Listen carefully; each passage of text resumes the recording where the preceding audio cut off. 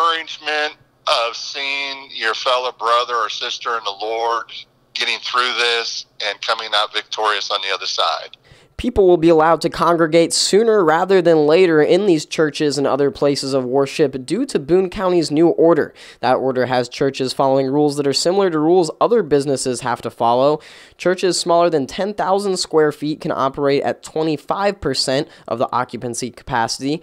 Locations larger than 10,000 square feet can operate with 10% of that capacity. Luther says that the precautions don't stop there.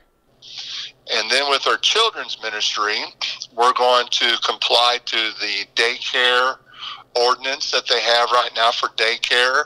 For those still worried about going out, Luther says they have that figured out as well. They will have an FM radio station that should reach the parking lot of their church to allow churchgoers to get out of the house while still socially distancing. For anyone looking to stay completely home, the church will also be broadcasting their services live to Facebook. When it comes to when the church will really get back into the full swing of things, Luther says he isn't in a rush. I'm concerned that society may think if this happens again, uh, they may not take it as serious the next time.